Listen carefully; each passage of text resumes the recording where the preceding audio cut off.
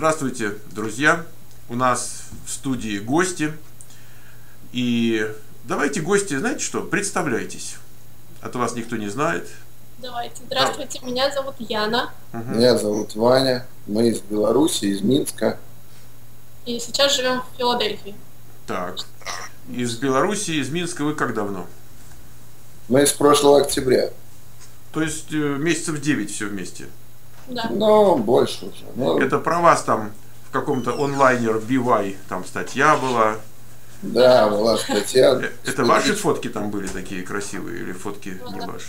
На нашу мельницу снимали. Да, хорошо. Ну, а после этой статьи там вам как-то перепало какой-то известности или так? Ну, негатива хлебнули, конечно. А вас там в комментариях ругали, что ли? Ну, конечно, это же как бы развлекательный портал, там, если не польют, то это же не развлечение. Зря читали, я понял. Да. Ну, хорошо, значит, давайте, значит, Яна у нас училась в... Где? Компьютер Ну, да. так, ну в каком, в каком классе вы учились? А, ноябрь 11, по-моему, это была группа. Онлайн-класс. Онлайн-класс. Я, я к тому, что класс был онлайновый. Да, да. Значит, и... вы учились в онлайновом классе. Значит, вы начали в ноябре, соответственно, закончили где-нибудь в середине февраля вот такого плана, да? да? А чем вы раньше занимались? Я экономист по образованию. Я извиняюсь, я... Э, годик сколько вам примерно? Мне примерно? 23. В таких годах можно еще точно говорить. Маленькая такая. Так это что, это ваш муж вот рядом с вами? Да, вот этот. А когда же вы успели, я не понял, в каком же возрасте? 21. А, ну хорошо. Уже. Ой. Я думал, сейчас раньше 30 никто и не, не интересуется там замужеством. Заинтересовал. Понял. То есть вы такая необычная. Ну хорошо. Значит, 23 года. А тогда вообще 22 было, когда пришла к нам примерно. А, да, да. Ну хорошо. То есть я так понял, что экономистом вы поработать не успели. Успела два года. Заочно, да. заочно что ли, учились? Нет, очно, но совмещала. Да. Я понял. Как вы к нам попали-то в школу онлайн? Ну, если честно, это, наверное, с подачи больше Вани, потому что он вас смотрел еще в Беларуси, mm. увлекся вашими... Да, спасибо за видео, все по делу четко. Да, Хорошо. Мы Хорошо. И Ваня говорит, что тебе без толку там болтаться? Или что он вам сказал? Ну, Ваня сам программист, поэтому он меня все время тянул в это болото. А, это, это меняет, это меняет дело. Да. Так. Но он начал это уже задолго подготавливать меня. Я еще в Минске окончила курсы. У нас есть такая компания Белхарт называется. Угу. Я незадолго до отъезда в Америку окончила эту школу, но особого результата, скажем так, я не получила. А в каком, в каком виде вы хотели результат? Вы же работу не искали? А ну, вы искали я искала, я пыталась ее искать, но я знала, что я уезжаю в Америку, и это немного психологически так на меня, скажем, давило. Конечно, конечно. обманываю, что конечно. я уйду от них скоро, поэтому... Ну, хорошо. Значит, вы немножко поучились на, на русском языке? Да. Потом вы... А где вы английский учили? Как вы английский, но основную, наверное, базу я получила при подготовке в университет. Я с репетитором занималась, а потом я работала в отделе снабжения, uh-huh. и я постоянно контактировала с китайцами, с индусами, то есть мне нужен был английский. Я понял. То есть вы так на самом деле нахватались еще в Беларуси? Ну, было немножко. Итак, когда вы за это дело брались, э, вот за этот онлайн-курс, вы, вы понимали примерно, что это? Или вы считали, что какая-то афера, и что муж вас непонятно на что пихает, и вообще добром это все не кончится? Какое ну, я уже понимала, потому что я закончила курс дома в Беларуси, поэтому у меня уже какое-то представление было. У нас еще есть знакомые, и, которые да, у вас учились. Знакомые, которые тоже закончили онлайн-курсы. В Филадельфии. И это муж и жена, и они оба работают. Да. Они в Нью-Хэмпшире живут. И мы так вдохновились и решили. Понял, что... понял. Ну хорошо, то есть вы как бы, вам было проще, вы знали людей, которые э, да. э, как бы прошли каким-то путем. Прошли э, такой, Значит, да. теперь, э, итак, вы в феврале закончили. Когда вы нашли работу? К последнему занятию у меня уже был джоб офер. Хорошо. Группе. Хорошо. За, э, за, скажем так, как, сколько времени у вас ушло на поиск работы, так поставим вопрос? От момента, как вы начали это делать? Если не брать в расчет вот эту вот э, подготовку, когда вы советуете с другими штатами поиграться, реальный поиск да. работы, я начала где-то после Крисмоса, то есть где-то вот в январе. Да. В январе я начала. Но Тут Честно очень признаться, очень мало здесь предложений. В Филадельфии как-то, наверное, IT не особо развито, и угу. это было у меня реальное первое интервью face-to-face, и я просто за него схватилась, наверное, и не отдала никому. Хорошо. Вот то, что вы в других штатах там упражнялись немножко, да? Да. Это вам дало какую-то уверенность дополнительную, то есть какой-то лоск на вас? Не зря занимались в других штатах? 100%. Мы еще снимали все это на видео, и после этого Яна по этим всем своим интервью проходилась, исправляла mm-hmm. ошибки, записывала вопросы, все как надо делать. Ну, я следила за собой, наблюдала, то есть, насколько я неуверенно отвечаю, я понимала, что это неуверенно, и я анализировала. Вы и... где-то, где вы нашли такую правильную, это хорошую? Его идея. Нет, девушку такую где нашли? Надо знать места, да. Я вот тоже сижу и думаю, где такую классную девушку? Я вообще поразительно. То есть человек вот не то, что там лишнюю милю, да, как тут говорят, а так это все, ну, по делу все, молодец. Значит, теперь, э, так вы уже работаете, считай, полгода. Да. Э, с точки зрения вот денежки, которую платят в Филадельфии тестеру, это примерно то же самое, что в других местах, или поменьше, или вот что там происходит? Я думаю, поменьше. Но где-то 50 тысяч плюс. Смотри, с чем сравнивать. Если сравнивать с так сказать, краями Америки, каким-нибудь Бостоном или Калифорнией, то меньше. Так. А если с центром, то нормально здесь платят. То есть, скажем, начинающий центр, э, тестер там полтинник получает в, в год. Да. Да. В тех местах, где в той части, где вы живете, вот там вы в самом городе или в пригороде в Филадельфии, где ну, уже так. Мы переехали чуть-чуть за 20 минут на поезде. Хорошо. В общем, мы жили в центре. 20 минут на поезде. 20 минут на поезде.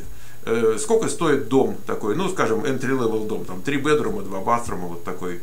Entry-level, три бедрума. Ну, мы вот что смотрели, можно купить кондо двухбедрумная за 130 тысяч, в принципе, можно. Ой, ой, ребята, плюнуть, плюнуть бы на все, уехать вот в этот Нет, 20 ну, минут на электричке. Но не хотелось бы жить, но возможность есть за такие деньги купить что-то. Не, ну подождите, у вас деток еще нету.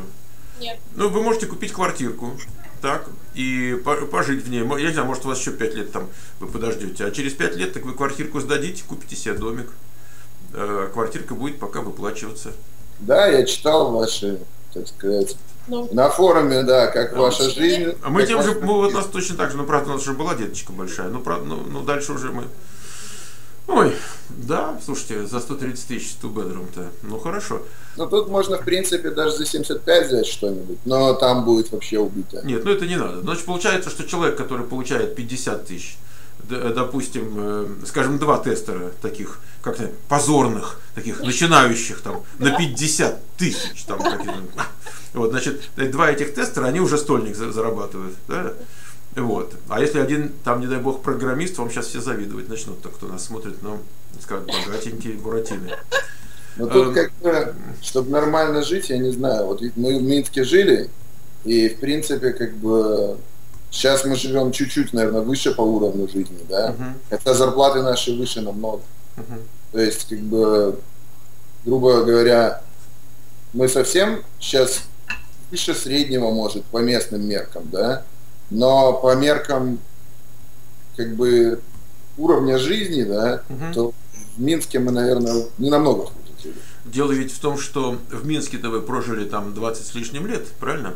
А здесь да, вы э, еще года не прожили. Поэтому, когда вы здесь проживете, ну, допустим, еще пару лет, так, и э, подниметесь на тот уровень, на котором вы должны были бы быть через пару лет, и вы глянете на то, что как вы жили в Минске, вы, вы поймете, что это вообще несопоставимо. Но дело даже не в этом. Дело в том, что все-таки жизнь в Америке, по сравнению с жизнью там, в Минске, Киеве, Москве, там, я не знаю, Бишкеке и так далее, э, представляет некоторые вещи, которых там просто нет. Помимо того, что вы можете купить больше апельсинов или там э, дольше ехать на трамвае. Значит, вот есть нечто, что за деньги не купишь. Понимаете, вот. Я даже не говорю про экологию там или что-то такое. Вот, можно забиться куда-нибудь там в Беловежскую пущу там, и поставить свинцовый забор, чтобы от радиации и жить. Но, но во всяком случае, есть еще кое-что. И, и вот это кое-что вы начнете со временем больше и больше ценить. Потому что вот когда это у человека отнять, тогда уже вообще ничего не в радость. Вот это. Оно не, не сразу заметно, потому что так больше сравниваешь там на доллары с рублями, с зайчиками там. Ну с да, обычно денежная составляющая. Или легче сравнить. Конечно, конечно. Значит, ну, потому что по вре- со временем как бы мы все лучше и лучше себя ощущаем, это сто процентов, потому mm-hmm. что мы решили все проблемы с документами, мы решили проблемы там со всеми как бы вещами, которые надо в дом купить. И уже совершенно по-другому ощущаются деньги. Ну, конечно, конечно. А вот когда вы начнете еще так, налогов меньше платить, хотя вы еще, наверное, не очень платили, вы такие ну, новенькие. Я, кстати, вот по этому вопросу вам хотел задать. Давайте. По страховке, значит, вы когда работали страховым агентом, есть какая, какая-то возможность при покупке дома значит, э, не платить с этих денег, которые уходят на покупку дома, налоги. Правильно или нет? То есть... Ну, конечно, э, у вас есть моргидж. Если вы купите дом без моргиджа, то это никак не повлияет на ваши налоги. Допустим, вы жили в Москве, продали дом, там, квартиру продали, у вас есть 200 тысяч наличкой, пришли, купили квартиру за 200 тысяч, это никак не повлияет на ваши налоги, за исключением того, что вы платите налог на собственность который вычитается из вашего налогооблагаемого дохода. Налог на собственность. Вот, скажем, у нас с 200 тысяч вы платили бы, там, я не знаю, скажем, 2,5 тысячи в год. Угу. Налог на собственность, и вот этот налог на собственность, вот эти 2,5 тысячи в год вычитались бы э, из налогооблагаемого дохода. Но поскольку у вас, скорее всего, будет моргич, и этот моргич, ну, допустим, у вас будет, я не знаю, 2000 в месяц, например, Соответственно, э, к тем двум с половиной тысячам, которые у вас там, ну хотя при 130 тысяч там нет таких денег, ну неважно, допустим, вы, да, вы что-то подороже что-то купили. Так вот, значит, получится, что вы 24 э, тысячи плюс налог на собственность, ну там, допустим, 30 тысяч, там 25 тысяч, 20 тысяч, в зависимости от стоимости. Э, вот, значит, тот моргич, который вы погасили, не принципал, то есть погашение займа, а интерес. Вот этот интерес плюс property tax – вычитаются из налогооблагаемого дохода. Поэтому вы говорите себе, вот я купил там что-то, и я теперь плачу половиной тысячи в месяц за жилье. Но это не совсем так, потому что эти половиной тысячи в месяц, если учесть, что у вас, скажем, э, налоговая, какая ваша, ваша шкала, где вы там находитесь, то, может быть, вы треть можете из этой суммы отнять, и получится, что это не половиной тысячи, а, скажем, там 1700. Да, и можно еще в другую шкалу попасть, и вообще тогда будет хорошо. Это никак не связано, потому что Почему? Э, когда, сейчас объясню, налог э, не, не берется, вот ваш налог, это tax bracket не, не, не применяется ко всей сумме. Допустим, вы получаете 100 тысяч, например, да, значит, uh-huh. вам говорят, первые там 13 тысяч вам прощаются. Deductions там всякие и так далее, вы прощаются. Значит, от 13 тысяч там до 30 тысяч вы будете платить там 12 процентов от 30 тысяч там, до 60 тысяч будет платить 18%. Я, я от балды. Угу. И, и так далее. Поэтому переход в нижний какой-то брекет, там, так, брекет и так далее, это просто сумма вот в этом диапазоне налога, значит, больше, меньше и так далее. Это не, не, не ко всей сумме применяется, а только вот к той, которая да. перевалила за этот э, порог. Поэтому там... Если ты уже перевалил, ты на всю сумму платишь эти налоги. Нет, нет, нет, нет, нет конечно. Э, только, только вот на, на, на ту сумму, на которую перевалил. Это все очень, очень незначительная вещь. То есть я могу сказать, что я плачу 50% налог. Но, и это правда. Но это не относится ко всему моему доходу. Угу. То есть, э, дай бог, иметь такой доход, чтобы с него платить как можно больше по 50%. Понимаете, я, я, я вам скажу, что поскольку я начинал совершенно в нищете в полной и дошел до 50%, то я могу сказать, что я, я предпочитаю платить 50%. И чтобы остальные уже у меня остались и так далее. А, а плюс вы же молодые, соответственно, вы за счет того, что берете моргиджи, вы снижаете налогооблагаемую сумму, то есть таким образом общий процент налога, который вы платите, общий процент уже усредненный, он становится меньше. Поэтому, когда молодой, берешь на себя лишнее. Ну, ну ты за это кровью э, платишь. Понимаете, я вот сейчас избавился от всего, я сейчас плачу по полной. У меня сейчас моргидж, ну, один там есть, на доме, где мы живем.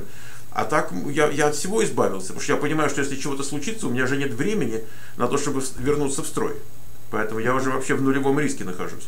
А когда вот мы были, ну не такие, как вы, конечно, мы были старше, может, на 10 лет, э, мы вообще бесстрашные были, как я не знаю что. А поскольку было время хорошее, а мы не соображали ничего, страхов не имели, но в хорошее время попали, и это оно рвануло. То же самое в нехорошее время мы бы без штанов остались. И как вы думаете, какое сейчас время? ближайшие годы, я думаю, должны быть очень хорошими. То есть всегда есть как, какая-то опасность форс-мажора, но э, снижение цен на нефть, причем это явно долгосрочная история. Угу. Э, значит, это толчок экономики. А крайне низкий интерес рейт, вот они должны были вот что-то там, не знаю, подняли сегодня, не подняли. Но, в общем, они, может быть, там приподнимут на 3 копеечки, но, э, понимаете, если бы там уже они этим давно занимались, и экономика вот еще бумировала бы на высоком интерес рейте, то есть понятно было, что в любой момент обвал может быть. А сейчас ему куда обваливаться-то? Мы сейчас живем в ситуации экстраординарных мер по усилению экономики. Мы сейчас, у нас, у нас кризисный менеджмент, у нас интерес вообще ноль, межбанковский. По, поэтому где ж там, э, куда ж там падать? Это уже, то есть нет, нет бума, нет разгона, нет ничего такого, что мы сказать, ну разогнали, сейчас как рухнет. Вот кроме зарплат программистов сейчас ничего не бумирует. Поэтому, значит, э, ожидать какого-то вот коллапса я даже не знаю, а с чего? Но еще раз, всегда может найтись что-то потом, что потом задним числом все скажут, вот оказывается, что там было. И вот там вот тот Рабинович, вот тот Рабинович, он предупреждал. Но да. проблема Рабиновича в том, что он два раза подряд никогда не предупреждает правильно. Понимаете? На каждый случай есть тот Рабинович, там, значит, Петров, тут Сидоров, который предупреждал. Но, но чтобы кто-то на систематической основе мог предупреждать, такого нету. Поэтому... Если бы он такой был, так он бы никого не предупреждал. Дело не в этом. Есть люди, которых работа предупреждать, и все обсуждают, что он там предупредил. Э, просто это никто не знает. Э, э, в общем и в целом, без знания каких-то вот таких странных вещей, я думаю, нам предстоит хорошее время, еще достаточно долго. Я, я так думаю, но, но вы никогда не знаете, тут есть политики, там есть какие-то идиоты, там, которые кнопки нажимают, тут все, что хочешь, может быть. Так что. Понятно. Ну, а так в целом, конечно, я, я не вижу пока приближающегося ничего такого, как называется, трендеца. Вот, то есть, если вы не будете читать там белорусские издания, или там российские, так вы никогда не узнаете, что у нас кризис или там что-то такое произошло. Да тут как-то, если честно, мы когда там жили, больше читали всякой политики, там угу. каких всяких вещей. А как-то тут приехали первое время, ой, тут люди вообще не знают, что происходит в мире. Да. А вот так сел и сам уже ничего не читаешь, и все тебе хорошо. А я-то знаете, что проходил? Э, я вдруг поймал себя на том, что я не хочу смотреть футбол. А раньше Такой. смотрел, да, э, я, я не только там за сборную, но вообще перестал смотреть футбол. Знаете, и за сборную уже не хочу футбол. И даже Олимпийские игры, вот не то, чтобы мне вот приспичило там побежать, я, я могу да, фигурное катание там по старой памяти поглядеть. Там, конечно, съемки красоты невероятные, просто как произведение искусства, как они сейчас это все обставляют. Но так, ну хорошо, ну так что. Ну, Может, просто времени стало. Понимаете, я уже не, не вижу, чтобы, допустим, престиж страны или там э, правильный выбор политической системы определялись количеством медалей. Там, я думаю, что там, где все правильно, там медаль вообще никому нафиг не нужна. Там куют золото совершенно в другом месте. Ну что же, хорошо, давайте мы вернемся к Яне. Э, с точки зрения студента онлайнового класса, вот все-таки мы эту тему у нас на канале очень мало разработали, и вот я вот только последние там, может быть, несколько недель пару человек э, вот вытаскивал значит, на публику. Сложно. Вот в чем сложность э, онлайновой учебы?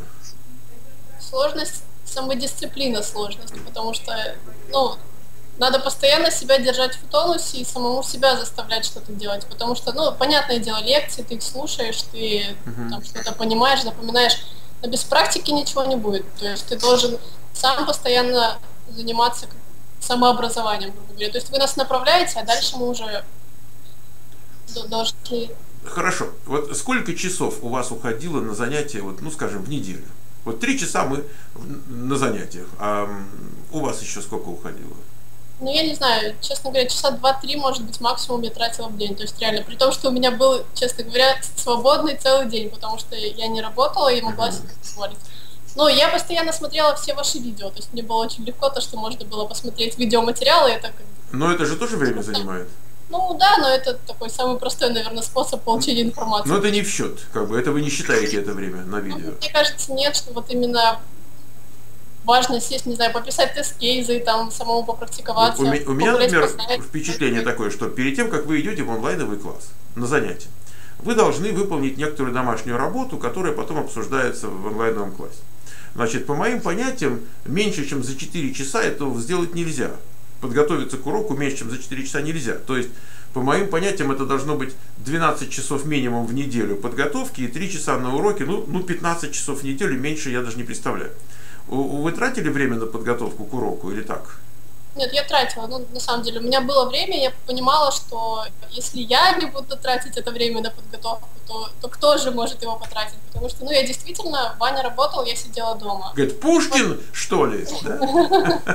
Да, то есть, ну, я, может быть, не тратила те 4 часа, я не буду брать, то есть действительно И она просто намного быстрее все делает. Ну да, она же маленькая, она еще недавно в школу ходила, она не отвыкла учиться. Хорошо. Вы в группе в этой, там было человек, наверное, 75, там, да, такого плана? Не знаю, может даже сотни, не помню. Много. Нет, сотни, сотни не было, человек 75 было. Вы завели там, может, знакомых каких, вот какое-то общение есть с кем-то? Ну, если честно, нет. Как-то был один парень, но он из экстра-класса, из Филадельфии, мужчина какой-то. Мы так. с ним немножко так по телефону пытались связаться, чтобы, угу. если что, помочь друг другу, если там какие-то нужны будут если вакансии перепоиски работы. Да, угу. ну как-то мы с ним немножко пообщались, и потом как-то и перестали, не знаю. Разбежались. Ну, хорошо. Ну, потому что я быстро нашла работу, и мне там вот этот чат, он стал не актуален, грубо говоря. То есть я уже пошла и пошла и пошла. Хорошо. Немножко... Эм, с точки зрения выполнения работы, у вас не было такого ощущения, сейчас меня выгонят, я ничего не знаю. Знаете, как вот, э, вы, может быть, не читали книжки, как пионеры там немецких разведчиков разоблачали. Но вот э, э, не было ощущения, что вот такой ты сидишь, такой шпион немецкий, сейчас пионеры тебя придут и раскроют. Первую неделю. Было. Первую неделю было такое ощущение, да, все время на таком на каком-то стреме сидишь вот так, ты ждешь, что какой-нибудь вопрос сейчас зададут, а ты такой, ой, а, а я что-то этого и не знаю. Ну, на самом деле, вот первую неделю в пятницу, я как сейчас помню, я вышла с работы с дикой головной болью. Мне было настолько, мне казалось, что у меня столько информации новой в голове. А потом оно как-то вот все пошло и пошло и пошло и пошло. И вот сейчас я уже на той стадии, когда я задумываюсь о новой работе. То есть мне уже... И вот сейчас она уже учит своего тимлида, как надо делать тест-кейсы. Ну, то есть, как бы... Да. То есть я втянулась уже, мне интересно, но мне мало. То есть я хочу чего-то... Ну, все правильно. То есть вы как бы сказать, поскольку молоденькая, вы ищете не стабильности, а вы ищете э, больше вот то, что называется exposure. Э, и это очень важно. Вот э, пока то, чего ты молодой не набрал, ты уже потом не наберешь. Угу. Поэтому вам сейчас надо, вот чтобы хрустело э, от нагрузки. Да. Э, и, и по максимуму. Вы ручное делаете тестирование сейчас? Да, да. Ну, идите в автоматизацию, тем более вот муж есть, там объяснит пару хохмочек там про Путь уже готов.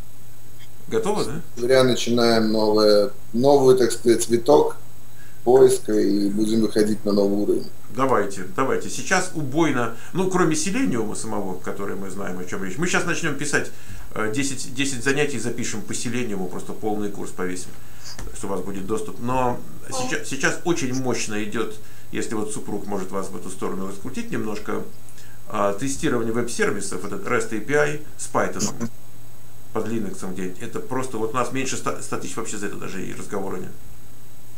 Вот, так что вам есть куда двигаться. Мы пока в Java пошли, не знаю. Selenium что... пошли. Java, Selenium. хорошо. Selenium с Java изумительно. Очень хорошо. Посмотрим, что выйдет. Ну что же, давайте, значит... Э... Для того, чтобы REST API тестировать, нужно как-то что-то понимать, как оно все происходит там внутри. И человек, который только что работал с формочками, да. ну, очень сложно перейти да, к этому. Проще через селение, наверное. Ну, э, в конце концов, да, когда человек перестал э, шугаться от там каких-нибудь data types там, или э, там циклов. Я помню, знаете, у меня, у меня, когда я начал преподавать это все,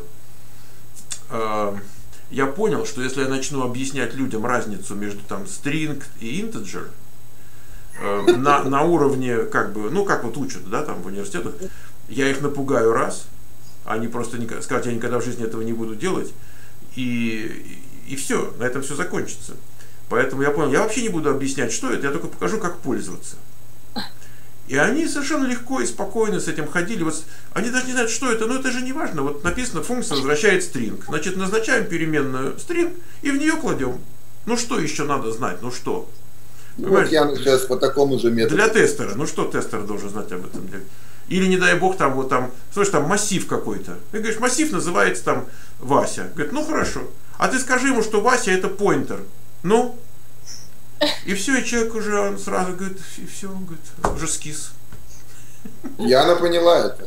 Просто она не знает, что это ссылка. Она знает, как она работает. Ну и хорошо, да. В нашем деле главное не напугать никого. Э, как-то не спугнуть. Вот, не спугнуть. Да. Вот да, тогда, тогда далеко очень... пойдет. Э, главное я... правильно настроить мозги. Яночка, я понимаю, что у вас на самом деле подпорка сильная в виде Вани, который вам не дает крышей куда-нибудь в сторону уехать. Это, конечно, большое дело. Это большое дело. Они ведь не ценят, Ваня, они же не ценят. Ценят. Ценят. У меня вообще хорошая жена. Хорошо, это я провоцирую. Значит, да, но вот когда вы обращаетесь к людям, которые думают на эту тему вообще, вот э, уже с тем, что вы прошли что-то и какой-то путь, вот вы, вы бы что сказали? Вот тем, кто думает, пойти в онлайн-класс, не пойти в онлайн Вот что нужно, чтобы быть успешным в онлайн-классе? Ведь многие люди даже резюме не просят, не, не просят сделать. Так они вроде походили, походили и все. Нужно большое желание. Просто вот я, честно говоря, когда сюда приехала, провела три месяца дома. Для меня это было вот наказание, честное слово, вот просто наказание, потому что когда ты не ходишь на работу, когда ты не делаешь чего-то, когда твои мозги не шевелятся и не работают, это просто вот ужасно. И у меня было действительно огромное желание. Я вот понимала, что я должна устроиться на эту работу, чтобы для самой себя вот что-то доказать, что я что-то могу. То есть, ну, для меня самое главное это желание. Если человек не хочет, то есть мне было страшно, конечно, я очень боялась, что это все новое, что я в этом никогда не работала. Но у меня, конечно, была большая поддержка в виде мужа, потому что он у меня все время меня толкает вперед и говорит, что я молодец. Но... Но он во время этого курса не столько технически вас Эм, как-то поддерживал, сколько вот именно морально, вот как вектор да. такой, да? Яна на самом деле, когда пришла, она все знала с технической точки зрения, практически. Вы ей просто систематизировали знания и дали очень грамотно, как бы объяснили очень грамотно, как искать именно работу. Как именно, именно искать работу на этом рынке. Угу. Вы просто, ну, причесали мозги.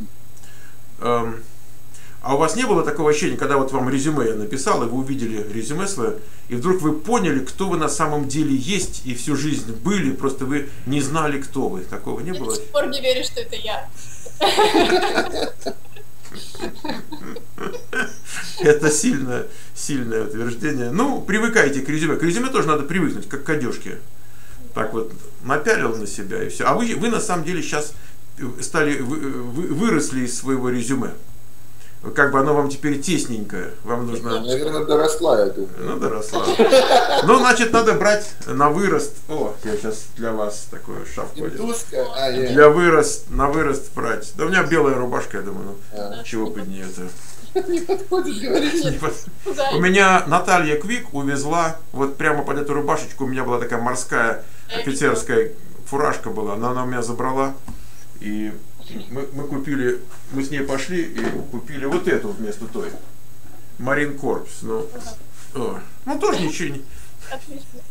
Тоже ничего, да. Что самое прикольное, я, короче, смотрел как-то ваше видео, и вы такие, вы такой, я собираю шапки. Я так сижу и думаю, нормально, я тоже шапки собираю. Да вы что?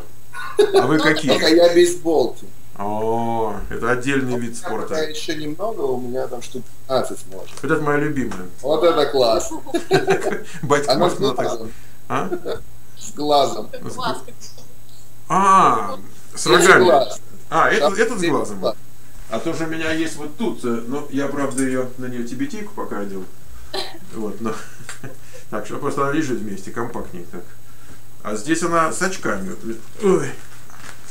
А байк есть, да? А, байка нет, мне все говорят, с такой шляпки надо и байк еще. Да. Я говорю, ну байк где же ставить, места же нет. Это, я говорю, я могу так Прям вот. с Харлея, репортаж с Харлея. Да, как, а там тоже с такими? С Харлеями? Разные бывают. Ну, в общем, вот так вот. Как... Ай, хорошо. Веселуха такая, знаете, надо, как в де- детстве наверное, не наигрался, не, не было машинок там, И все, и вот сейчас так хорошо. Ладно, ребят, очень приятно с вами потрепаться. У вас еще блог есть, правда? Да. Значит, э, два слова. О чем, о чем блог? Ну, он такой какой-то комбинированный. Изначально мы рассказывали о том, о своих первых шагах, то есть какие-то полезную информацию минимально пытались, то, с чем мы столкнулись, поделиться. Uh-huh. Потом мы, когда освоились, уже начали просто, что вижу, то и показываю, то есть какие-то интересные картинки, там, ну, грубо говоря, куда мы едем, путешествия. Сейчас мы немножко добавляем такое кулинарное направление, потому что мы оба любим готовить, и мы решили, если это нравится нам, может быть, кто-то еще... Кому-то интересно, что здесь подают и как под, это сделать. Подписчиков много? 516. Да. О, ну чего же, народ, вы давайте вот что, вы мне сбросите в скайп э, ссылочку на ваш блог. То есть, может быть, может быть, вы сбрасывали, но просто чтобы мне не искать. Вот, и запустим вас. Ну, сегодня я сейчас должен убегать через 5 минут. Mm-hmm. Вот, а завтра, или может быть я из дома, у меня есть э, Remote Access к моему компьютеру. Может быть, я тогда из дома запущу. Хорошо? Хорошо. Ладно, давайте тогда э, успехов. И вы еще только жить-то, господи, толком не начинали, я так думаю. То есть вы с хорошей э, точки начинаете, не с такого старта, знаешь, там вот уже. Вот, а так уже так встали, так, и так побежали. Хорошо. Мама не говорит, внуков давай. Говорят все. А, а, ну ваши, ваши ничего. Но уже намекают. Намекают. Ну, не сразу, не сразу. Не сразу. А вы как вот к гражданству будет подходить? Вот, вы тогда, значит, бабушку привезете сюда, чтобы ей не скучать. И тогда уже вот. Время покажет. А ваши родители же молодые, да? Ну да. У кого как. О, слушайте, у вас еще родители молодые. Ладно, родителям тоже привет тогда передавайте. Спасибо. Вот, потому что для них как бы очень важно, э, чтобы у вас все было хорошо, потому что смысл их жизни в том, чтобы у вас хорошо было. Так Спасибо. что вот, когда у вас детки пойдут, вы тоже будете очень переживать. И чтобы все хорошо. Ладно, ребята, давайте счастливо вам всем. И да, я надеюсь, что мы не, не прощаемся, а еще встретимся. С удовольствием, спасибо. Хорошо, счастливо.